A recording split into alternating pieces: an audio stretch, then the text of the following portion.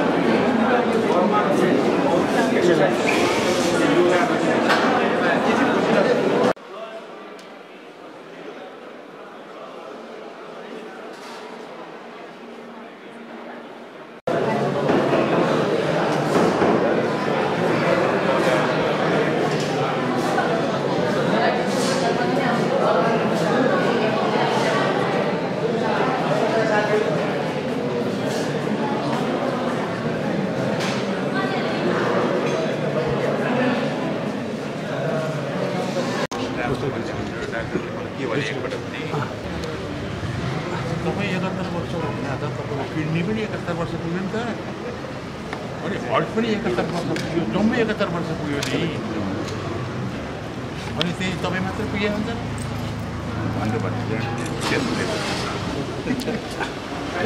मैले उहाँलाई हेरेर आएँ उहाँको अहिले चेत छैन त्यो दबाईको कारणले चेत छैन उहाँको अहिले पनि आफ्नो तर्फबाट डाक्टरको भनाइअनुसार उहाँले आफूलाई एक्जिस्ट गर्नको निम्ति प्रयत्न गरिराख्नु भएको छ भित्रबाट। तर त्यो ज्यादै कमजोर छ। रिकभर भइरहेका छैन। र बाहिरबाट सपोर्ट चाहिँ सबै किसिमको सपोर्ट दिएको छ। त्यो सपोर्टले त्यो सपोर्टले रहनुभएको छ। तर कतिपयले यस्तो भन्छ नि त ब्रेन त डेथ भइसक्यो। हार्ट पनि डेथ भयो। त्यो त आर्टिफिसियल छ भन्ने चाहिँ होइन। त्यस भएर पाँच सात घन्टापछि चा आठ दस घन्टापछि के हुन्छ त्यो त्यसलाई हामी हेर्दै गर्छौँ त्यसपछि आउँछ। क्रिटिकल छ। एकदम क्रिटिकल छ अवस्था छ भनेर उहाँले भन्नुभएको छ। र मैले मैले उहाँको सुस्वास्थ्यको निम्ति हार्दिक कामना गर्न आएको छु।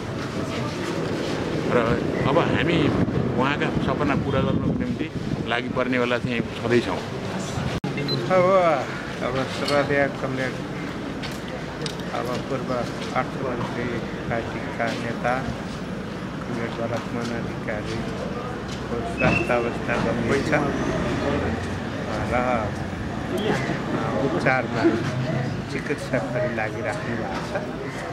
त्यस कारणले गर्दाखेरि छिट्टै स्वास्थ्य अवस्थामा सुधार होस् भन्ने शुभकामना बाहेक अहिले के भन्न सक्छु